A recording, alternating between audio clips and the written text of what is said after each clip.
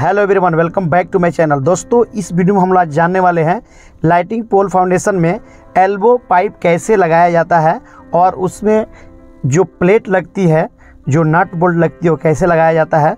तो आइए हम लोग जानेंगे स्टेप बाई स्टेप इस वीडियो में। दोस्तों, पहले हम लोग जान लेते हैं ड्राइंग ड्राइंग में कैसे दिया है, कितना हाइट दिया है।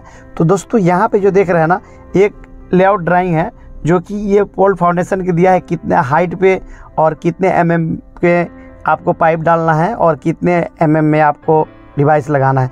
तो आइए हम लोग जान लेते हैं पाइप एरिया में। दोस्तों, यहाँ पे जो देख रहे हैं ना, एक पाइप जो है 150 फिफ्टी mm का, जो कि बाईपास का है और दो एल्बो है, जो कि इन आउट केबल होगा। ठीक है दोस्त? तो ये कितना हाइट दिया ड्राइंग में, हम लोग जान लेते हैं। यहाँ पे जो देखेंगे ना, ये स्टील प्लेट जो है, जो स्टील प्लेट है, वो आपको बाईपास जो पाइप है, जो कि इसमें केबल हम लेके जाएँगे, वो 800 सौ mm पे है, ठीक है? और आपको बता दूँ, ये जो एल्बो लगा हुआ है, जो कि केबल इन आउट होगा, ये 600 सौ mm पे है, ठीक है? ड्राइंग में शो किया है ऐसे ठीक है? ऐसे ही हम लोग सेम लाइव आपको दिखाते हैं, आपको फाउंडेशन कैसे बनाना है और कैसे हम लोग इंस्टॉल करते हैं पाइप को। दोस्तों, ये जो फाउंडेशन है सात सौ बाई सात सौ एम का है, ठीक है? तो इसमें आइए, हम लोग जान लेते हैं कैसे पाइप लगाएँगे उससे पहले आप लगाने से पहले प्लेट लगाने से पहले आपको पोल का बेस जो है, उसको मेजरिंग कर लेना है। पोल का बेस जो होल है पोल का बेस का होल उसको आपको मेजरिंग कर लेना बहुत ज़रूरी है। कितना एम mm का है, उसी हिसाब से प्लेट का ऑर्डर करना है और आपको लगाना है। ज़्यादातर तो सिविल लगाते हैं, लेकिन कहीं कहीं ऐसा हो जाता है इलेक्ट्रीशियन को लगाना पड़ता है। तो आप जान लें इस वीडियो में स्टेप बाय स्टेप आपने देखा जो ड्राइंग में, उसी हिसाब से आपको पोल फाउंडेशन को लगाना है और हाइट बराबर करना है। दोस्तों, यहाँ पे देख रहे हम लोग पाइप लगा ली हैं, ठीक है?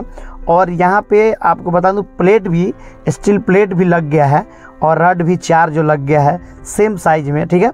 और आपको ऐसे पाइप लगा लेना है जो कि सेम ड्राइंग की तरह इन होगा और यहाँ से आउट होगा और जो चार स्टील लगेगा ना, ऐसे रहेगा, ठीक है ना? थ्रेडिंग लगा रहेगा, उसी पे आपको स्टील लगाना है और ये जो है यू टाइप का बना हुआ है, इसको नीचे अच्छे से बाँध लेना है, ठीक है? जो कि यहाँ पे आप देख रहे हैं, ये अच्छे से बाँध लेना है अच्छे से, क्योंकि कंक्रीट जब होगा ना तो उसमें अंदर आ जाएगा, ठीक है? ऐसे अच्छे से इसको बाँध लेना है और अच्छे से लेबल करके इसको और सीधी करके लगानी है, ठीक है?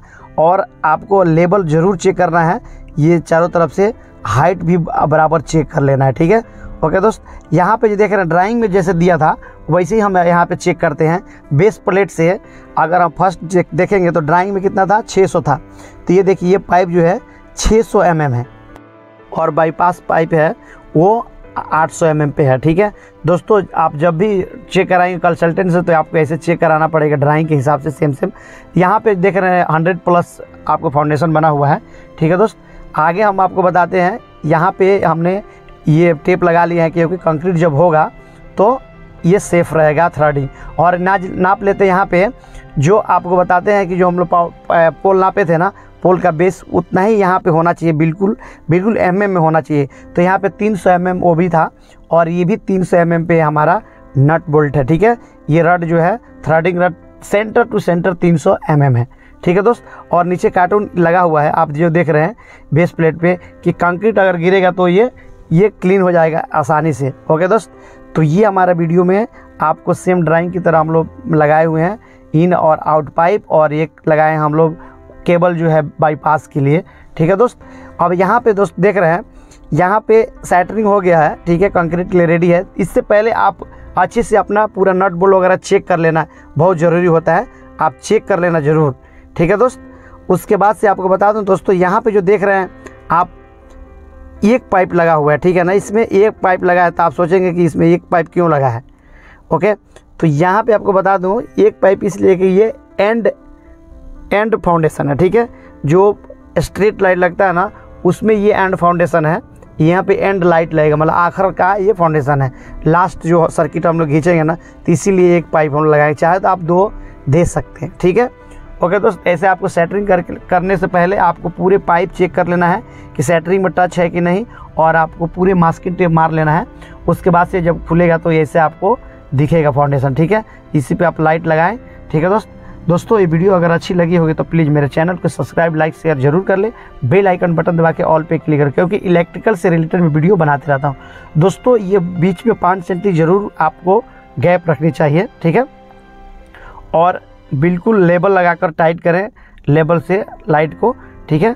यहाँ पे हमने लाइट भी फाउंडेशन के पे लगा दिए हैं, ठीक है दोस्त? इसी तरह वीडियो देखने के लिए मेरे चैनल पे आप ज़रूर विज़िट करें।